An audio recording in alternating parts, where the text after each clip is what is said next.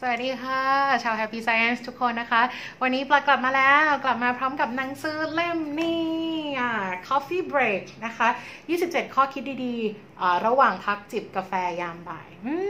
เล่มนี้ไม่ทราบว่าใครได้เป็นเจ้าของแล้วบ้างนี่ปลาชอบมาก ๆ เลยนะคะ เพราะว่าค่อนข้างรีแลกซ์แล้วก็ไม่เครียดแต่ว่าเราก็ได้ทราบอะไรแบบ 27 ข้อดีๆ เกี่ยวกับตัวเราเองอะไรเงี้ยบางบางเรื่องเราไม่เคยรู้แต่แบบมารู้ในหนังสือเล่มนี้อะวันนี้เรื่องเรื่องที่ปลาเลือกมานะคะ จะอยู่ที่หน้าอะไรเนี่ย ขอดูก่อน อันนี้จะเป็นหน้าสำหรับถ่ายยี่สิบเอ็ดยี่สองยี่สามนะคะ สั้นๆ แต่ว่าได้อะไรไปเหมือนกัน อะ อันนี้เรื่องที่เลือกมาจะเป็นออร่าแห่งรอยยิ้มค่ะ นี่ เอามาดูกันดีกว่าว่า เรื่องการยิ้มเรามีออร่ายังไงเนาะโอเค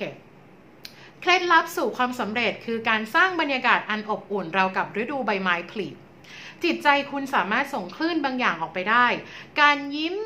ช่วยให้คุณเปลี่ยนคลื่นที่จะส่งออกไปได้เหมือนกับการเปลี่ยนช่องโทรทัศน์ เวลาที่ยิ้มมั่นใจได้เลยว่า ภาษากายที่สื่อออกไปนั้น จะเป็นไปในทางอ่อนละมุนออร่าของแต่ละคนสะท้อนความเปลี่ยนแปลงนี้ เนื่องจากผมสามารถมองเห็นในทางจิตวิญญาณ ผมมองเห็นออร่าของตนเองได้ในกระจก ปกติออร่าของผมจะเป็นอย่างหนึ่งแต่หากผมมองตนเองในกระจกแล้วหัวเราะไปด้วยออร่านั้นจะเต้นเป็นจังหวะ สิ่งนี้เป็นกฎ เมื่อคุณยิ้มออร่าของคุณจะเปลี่ยน คุณสามารถทำให้ร่างกายของคุณผ่อนคลายจากความตึงตึงเครียดด้วยการยิ้ม เมื่อเส้นประสาทผ่อนคลายลง คุณจะสบายขึ้น และแสงจากสวรรค์จะส่องถึงจิตใจที่ผ่อนคลายได้ง่ายกว่า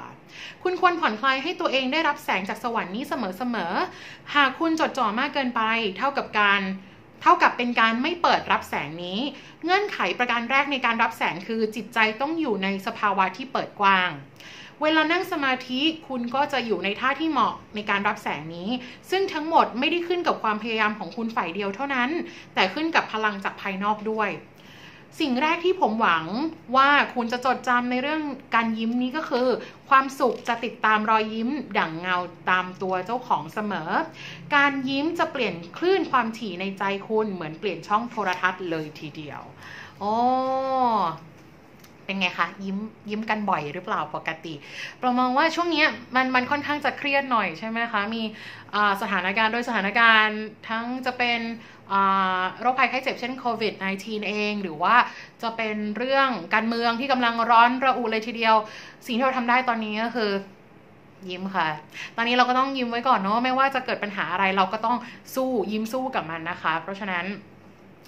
ยิ้มไว้ค่ะ ยิ้มเยอะๆนะคะ แล้วก็แล้วแล้วเหมือนมันจะทำให้เราคิดบวก แล้วเราก็จะหาทางแก้ปัญหาได้ง่าย คือไม่ใช่ว่าไปโอ้สถานการณ์มันแย่บ้านเมืองแย่เอาเศร้าเอานั้นก็ไปกันใหญ่ค่ะ เพราะว่าเราเราลองมา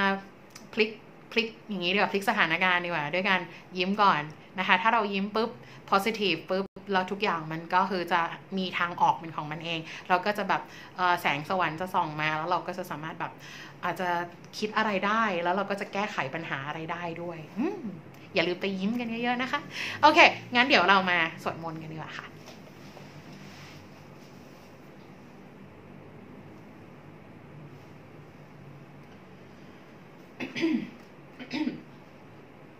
วจนะแห่งความจริงบทพระธรรมเพื่อสำรวมจิตใจ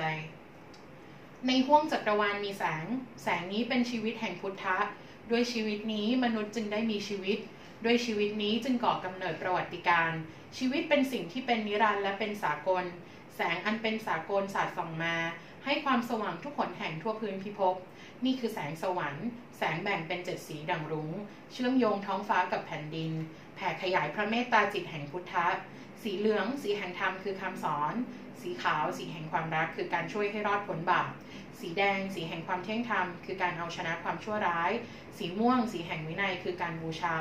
สีฟ้า สีแห่งเหตุผล คือความคิด สีเขียว สีแห่งธรรมชาติ คือความกลมกลืน และสีเงิน สีแห่งศาสตร์ คือความพัฒนาก้าวหน้า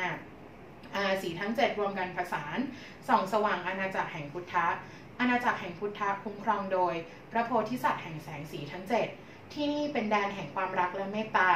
ที่นี่เป็นแดนแห่งปัญญาและธรรมะ อันหนึ่งนี่เป็นแดนแห่งจิตวิญญาณ จิตวิญญาณอีกในหนึ่งก็คือบุตรแห่งพุทธะ บุตรแห่งพุทธะอีกในหนึ่งก็คือมนุษย์ มนุษย์เป็นจิตวิญญาณนี้ จิตวิญญาณคือสติปัญญาความคิดที่ไม่ดับศูนย์จิตวิญญาณเป็นพลังงานที่ไม่เสื่อมสลาย จิตวิญญาณเป็นทุกๆ สิ่งทุกๆ อย่าง กายมนุษย์นี้ก็คือเงาของจิตวิญญาณ ประดุดเรือลำเล็ก ที่ลอยไปบนกระแสน้ำแห่งเส้นทางชีวิต เพราะเป็นเพียงแค่เรือลำเล็ก หากไร้ผู้บังคับเรือก็จะลอยไปเกยตื้น ผู้บังคับเรือนี้ก็คือจิตใจ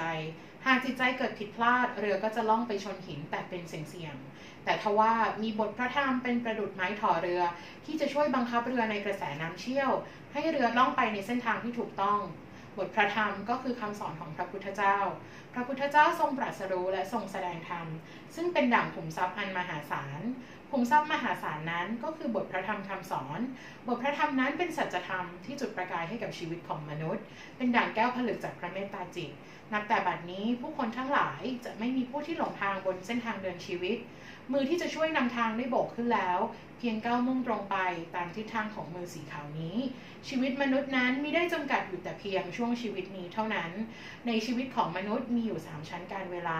คืออดีตการ ปัจจุบันการ และอนาคตการ ถึงแม้อดีตจะผ่านพ้นไปแล้ว แต่ความผิดที่ก่อขึ้นในจิตใจจะยังคงค้างอยู่ ฉะนั้นจงพยายามเข้าใจผู้อื่น และย้อนทบทวนดูตนเองตนและผู้อื่นมิได้แบ่งแยกหากแต่เป็นหนึ่งเดียวกัน ต่างก็เป็นบุตรแห่งพุทธะ ดังนั้นจงมอบความรักต่อกันและกัน ดังนั้นจงเกื้อกูลซึ่งกันและกัน ดังนั้นจงให้อภัยซึ่งกันและกัน นี่คือหลักคำสอนอันเป็นนิรันดร์ เป็นแสงที่ส่องสว่างความมืดมนผ่านปัจจุบันและอนาคต ความมืดมนบนโลกนี้เป็นนรก ความมืดมนของโลกหน้าก็เป็นนรก ในเมื่อข้าพเจ้าทั้งหลายได้ลงมาสู่โลกนี้ นั่นคือดวงอาทิตย์แห่งสัจธรรมได้ขึ้นแล้ว ดวงอาทิตย์ที่กำลังขึ้นอยู่ณเวลานี้ เป็นแสงที่ส่องสว่างอนาคตนำทางไปสู่ดินแดนแห่งพุทธะจากนี้ต่อไปบนโลกนี้จงปราศจากความแตกแยก บนโลกนี้จงปราศจากความหวาดระแวงต่อกัน บนโลกนี้จงปราศจากการกระทำสิ่งเลวทราม บนโลกนี้จงปราศจากจิตวิญญาณชั่วร้าย ในโลกหน้าจงปราศจากปีศาจชั่วร้าย จงเป็นโลกแห่งอุดมคติ มาถึงยุคยูโทเปีย ผู้คนทั้งหลายรักกันและกัน มีน้ำใจต่อกันและกัน เชื่อถือต่อกันและกันข้าพเจ้าทั้งหลายล้วนเป็นโพธิสัตว์แห่งแสงสว่าง ผู้บอกกล่าวและส่งต่อสารนี้ แสงสว่างเท่านั้นที่คงอยู่จริง ความรักเท่านั้นที่คงอยู่จริง สัจธรรมเท่านั้นที่คงอยู่จริงข้าพเจ้าทั้งหลาย ผู้เป็นโพธิสัตว์แห่งแสงสว่าง ซึ่งมาผสานแรงร่วมกันผนวกพลังกันและกัน ขอปฏิญาณณที่นี้ว่าจะตั้งอยู่บนจิตอันเป็นกุศล และดำเนินชีวิตในวิถีทางตามประธรรมคำสอน